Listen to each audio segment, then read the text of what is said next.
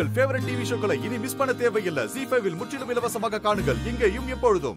பிராது கொடுத்தவங்க உங்களோட பிராது என்னன்னு சொல்லுங்க. ரங்கநாயகி அம்மா கோகிலாத்த பையன் கார்த்திக் சாருக்கும் எங்க அக்கா யமுனாவுக்கும் கல்யாண ஏற்பாடு நடந்து மணமேடை வரைக்கும் வந்தது. ஆனா எதிர்பாராத காரணத்தினால அந்த கல்யாணம் நின்னு போச்சு. எதிர்பாராத காரணம்னு ஏன் சொல்ற? எல்லாம் உன்னாலதான்னு விவரமா சொல்ல வேண்டியதுதானே என்னால நிக்கல. ஆனா அந்த பேச்சு இப்ப வேண்டாம். அத நான் சொல்ல ஆரம்பிச்சா அது ரங்கநாயகி அம்மாக்கு தான் கஷ்டம். என் வீட்டு பத்திரம் என் கைக்கு வர வரைக்கும் நீ இந்த வீட்டுக்குள்ள வரவே கூடாது? கோகிலா குறுக்க பேசாதீங்க. சக்தி பேசட்டும். சக்தி நீ சொல்லு.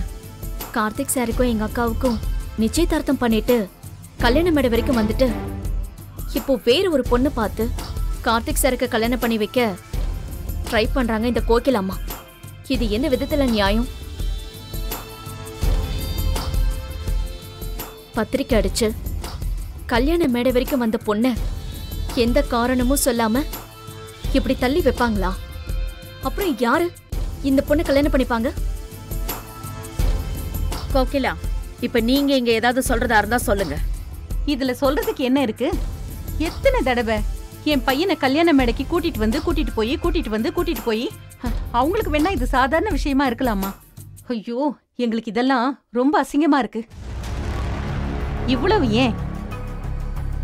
உங்க பையன் கூட கார்த்திக் கல்யாணத்தை நிப்பாட்டினா?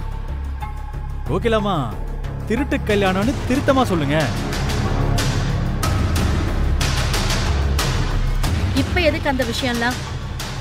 கோகிலா இப்ப உள்ள பிரச்சனை என்னவோ அதை மட்டும் பேசுங்கம்மா. இங்க பாருங்கம்மா. என் பையன் கல்யாணம் நடக்கவே நடக்காதுன்னு நினைச்சு நினைச்சு எனக்கு நெஞ்சு வலியே வந்துருச்சுமா நான் பொழைச்சதே மறுபுறப்பு. அம்மா என் பையனுக்கு கல்யாணம் நடந்தாதான் நான் உசுரோடவே இருப்பேன். அம்மா இவன் என் பையன். எனக்கு இருக்கிறது இவன் ஒருத்தன் தான் இவன் கல்யாணத்தை நாங்க நினைச்ச மாதிரி நடத்தணும்னு முடிவு பண்ணது அவ்வளோ பெரிய தப்பாம்மா?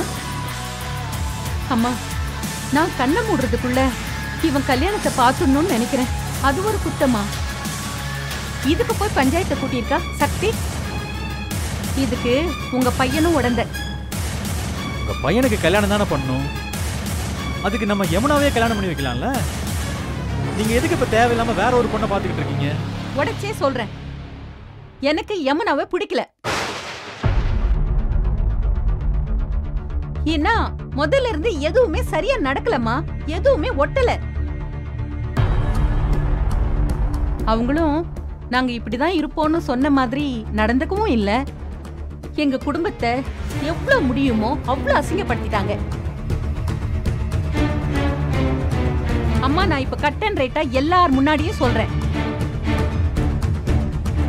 இனிமே கார்த்திக்கும் யமுனாவுக்கும் கல்யாணங்கிற பேச்சுக்கே இடம் இல்லை. ஜி ஃபைவ் ஆப்பை டவுன்லோட் செய்து அனைத்து எபிசோடுகளையும் இலவசமாக பாருங்க.